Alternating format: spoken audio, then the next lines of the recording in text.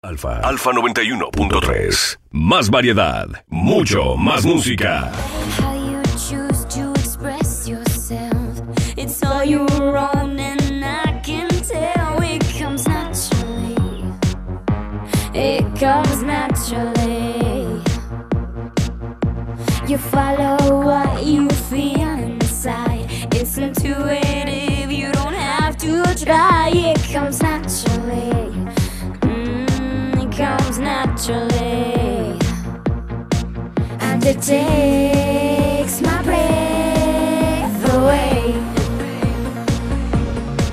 What you do so naturally.